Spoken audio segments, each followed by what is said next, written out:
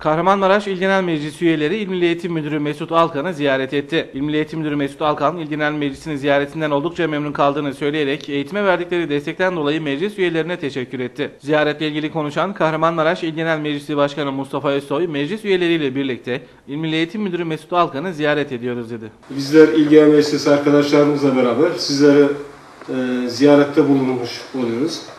E, biz Kahramanmaraş'ın eğitimin çıtasının yükselmesi için e, her türlü gayreti gösteriyoruz ve hatta işte derslik yapımlarında taşımasından tutun hizmetlisine varana kadar bütün arkadaşlarımız Milli Özel İdaresi'nden dolayı milli eğitime büyük katkıları bulunmaktadır.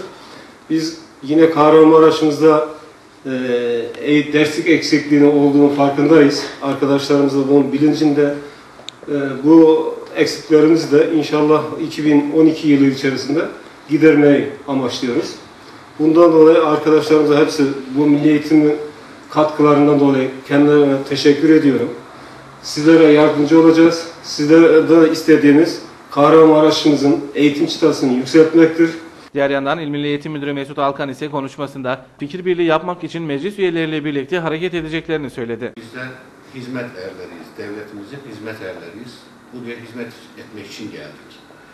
Ee, Sizlerden ne kadar çok destek alırsak biz e, hizmette o kadar başarılı oluruz. Elbette e, ilimizdeki e, eğitimin ölçülebilir değerler dediğimiz ÖSS'de, SBS'deki başarısı e, ne sizlerin arzu ettiği ne de bizim arzu ettiğimiz seviyede değil. Çok kötü değil ama çok da iyi değil. Ee, Biz bunun e, çıtanın en üste çekebilmemiz için e, hep birlikte çalışmak durumundayız. Bu işin içerisine öğrenci velisini de katarak, e, sivil toplum kuruluşlarımızı katarak, başta öğretmenlerimiz ve okul yöneticilerimizi onore ederek, onları motive ederek e, ve sizlerin de destekleriyle birlikte bu çıtayı birlikte yukarı çekeceğiz.